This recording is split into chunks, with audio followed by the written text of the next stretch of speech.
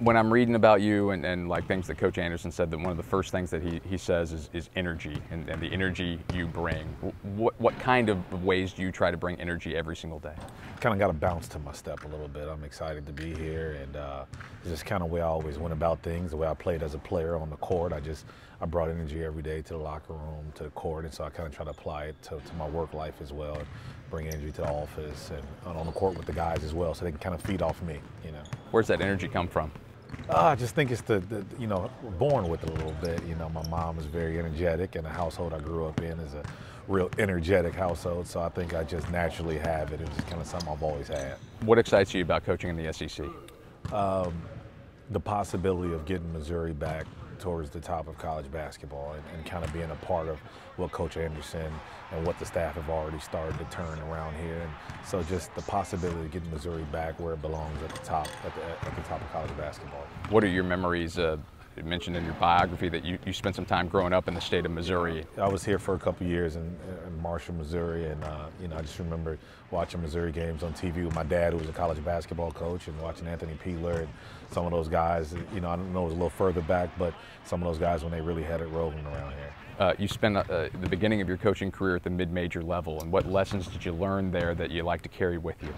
Well, uh, I was telling someone yesterday, just the, the, the grind of it, the, the, the, hard work, and a lot of, you know, coming up the ranks in junior college and at the mid-major level, you don't have as much help. So, you know, you got to be hands-on with everything. If that means, you know, sweeping the floor, mopping the floor, whatever it is no job is too small. And so just the grind and the hard work, um, you know, kind of coming up the ranks, I, I hope I can continue to do that here fits in pretty well with the, the blue collar yes. work ethic Coach Anderson's instilling. It has, yeah, exactly, exactly. So, and yeah, I, I, think it fits perfectly. I met Coach Anderson, you know, early on in my career and saw what type of guy he was, and so I think our personalities and our and same beliefs and, and, and values kind of match you were a pretty good player at, at Eastern Illinois also in, in your, your, your, playing days. And um, how does that help you in, in, your coaching career, having been a player at the college level? Well, I wish I was a little bit better, but uh, no, I mean, it's, it's, it's good. I was a point guard, and so I saw the game from a lot of different angles, and I was able to kind of, you know, read people and deal with people well, uh, being in a leadership role.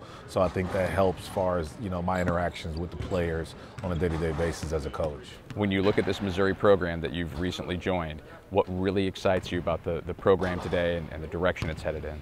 Uh, just the, the, type of guys, just for me, for the last couple weeks, being around the guys, um, the positive attitude, the hard working attitude that the guys have, seem like high character kids. Um, I, I, always look forward to working with high character, good young men, and then just the staff that Coach Anderson's put together is a very positive staff and all just willing to work and get get the program going back the right way.